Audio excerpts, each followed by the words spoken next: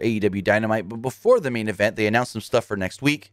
We do know that Jon Moxley and Eddie Kingston will be taking on the Good Brothers. Cody will go one on one with Penta El Zero, El Zero Miedo.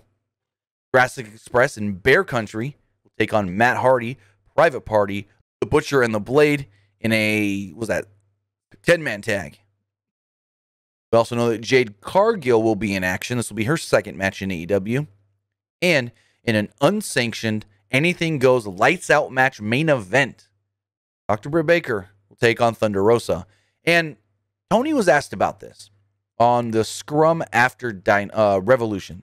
He said, you know, Hikaru Shida has done everything that she can do in All Elite Wrestling.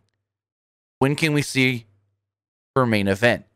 And Tony goes, Good you asked. The women will main event and probably here soon.